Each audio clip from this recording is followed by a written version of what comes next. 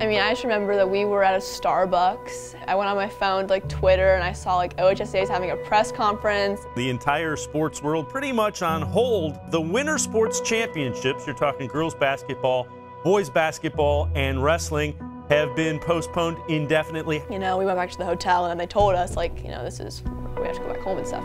I can't even describe how we felt that day. I mean, it was such a shock at that point. It was just like heartache and loss that we didn't even get the opportunity to like play, win or lose or anything. Say honestly, till tournament started this year, I finally was able to like clear my mind and just say, new season starts now and it's time to get going.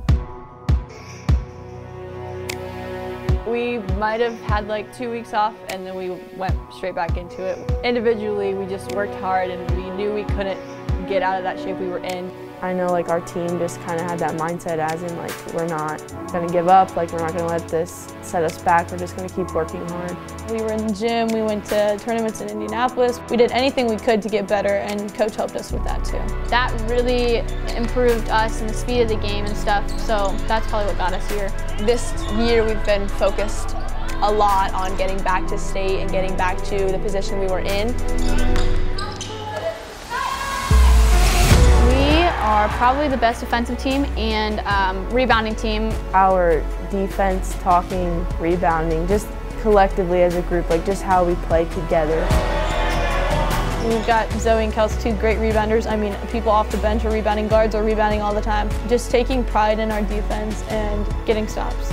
We come out and really we go get them. Like we literally attack, I guess, if you want to say. We trust each other, and I trust everybody that goes on the floor that they are capable of making a play. When you kind of have that trust between players, I mean, it just makes it easy to play with them, and it makes them fun to play with.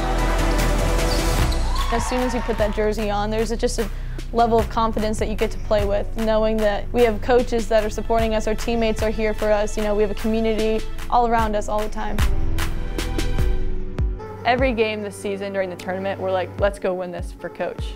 It's really important to us that not only we go win a state champ for our community and like our team, but we go win it for them. Seeing my dad coaching all these different teams and like seeing all the hard work that he put into those teams just like made me want to work hard at my sports that I played. We trust in him so much in everything he does. We look up to coach more than I think he thinks we do. I mean, especially me myself, like I look up to him so much.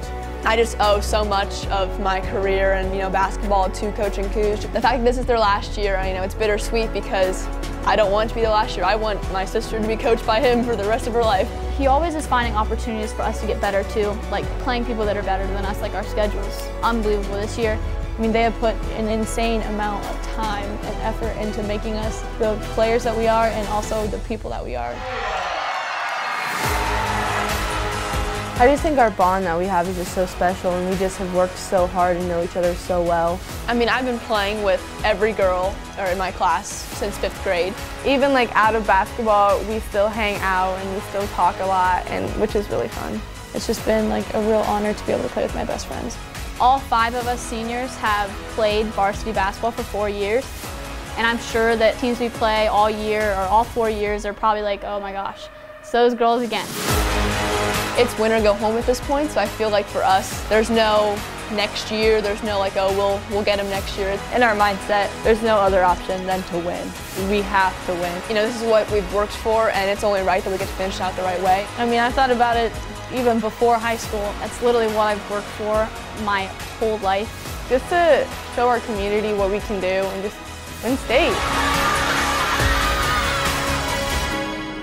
And I just feel like whenever I walk out with Hiland on my jersey that like we got this.